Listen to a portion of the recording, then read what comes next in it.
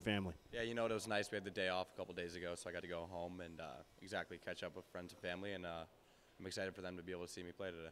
Um, so uh, obviously the Reign are a team that's in the thick of a, a, race for the playoffs. You guys right now are looking to maybe spoil the fun for some teams down the stretch here.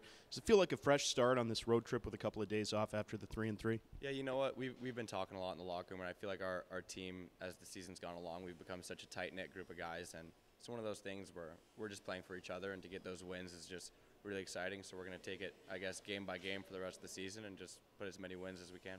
Well, the one thing you can say about your team for sure is that you guys have defeated and competed with some of the best teams in this league. Uh, just kind of goes to show you how close all the teams are across the league, right? Yeah, for sure. I mean, you look at our roster, and there's some unbelievable players in our team, and I think that uh, if we can all gel the right way and let those guys shine and do what we got to do to get some wins, I, I mean, it's late in the season, but I still feel like we could beat anyone it's uh, you know been a, a, little bit calmer in terms of the roster and the transactions here the last maybe month or so. Has that helped you guys come together a little bit, not just uh, as a team, but like in the lineup specifically? Yeah, exactly. I think that's part of why we were saying we're becoming very tight knit. It's because we've had the same group pretty consistent here, and uh, yeah, I think that when you get the lines, you get familiar playing with separate guys and stuff like that. It, it definitely helps a lot. And uh, I mean, it's been a few days off, so we're excited to play today.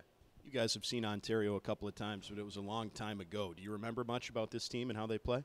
Um, you know what? I actually played a few games for them last year, so I remember a bit. But they were very hardworking and I guess dedicated to their systems team. And I know they got a lot of talent over here too, so it should be a fun test for us. What do you think will be a good indicator as to whether or not you guys have your, you know, real good uh, stuff tonight in the first maybe 10 minutes of the game?